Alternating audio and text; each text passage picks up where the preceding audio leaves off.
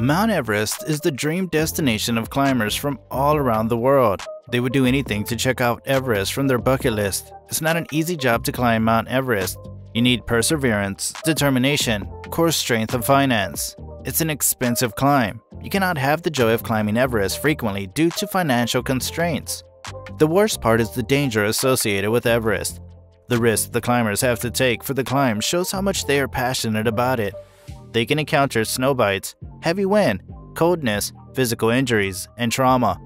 Apart from all these, what the climbers are now facing is the climber traffic jam in Everest. How can you experience heavy traffic jams on Mount Everest? What are these climbers up to? More and more climbers are coming forward to climb Everest with even the high expense. They would make the most of their climb as it would be a waste of money to drop the plan midway. They have to invest in a lot of products, from their clothing to their shoes. They need to make sure that they are protected from harsh climate conditions. As there are a lot of climbers flowing in, Mount Everest is filled with people. It's overcrowded, which puts the climbers in an awful circumstance, as they have to wait in long lines to even take a step. The exhaustion they face even before they start the climb is unimaginable. Many people have traveled halfway around the globe to reach their dream destination. It's quite disappointing for them to return without even being able to start the climb. There are two ways to reach the summit. Let's first find out how we can reach the summit. Before that, smash the subscribe button and press the bell icon to never miss a single video from Mountaineers.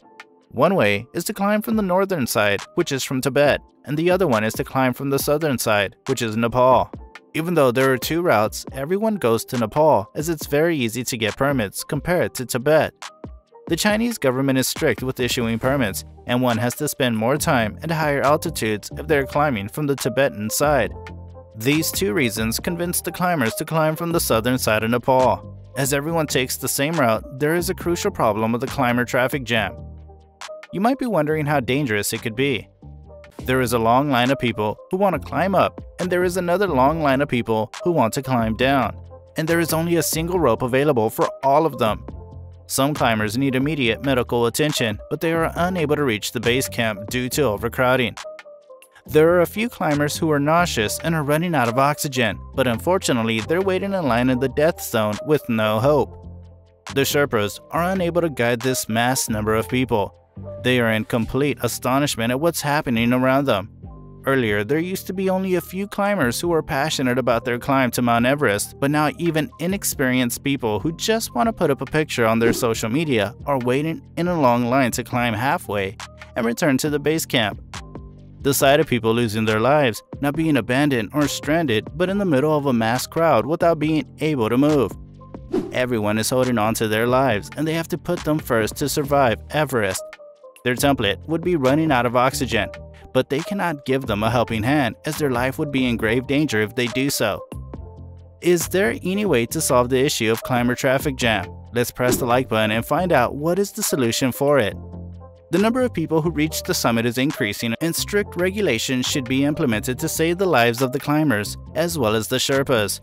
The Nepalese government is giving permits with no restrictions. Recently, they have made around $11,000 from the 381 permits. It has become a business with high profit, but at the cost of climbers' lives. It's unacceptable to see such enthusiastic and talented people losing their lives due to overcrowding. Climbers who survived the climber traffic jam have shared their experiences with it's heartbreaking to listen to how helpless they were in that situation. They suggest that they should be scrutiny.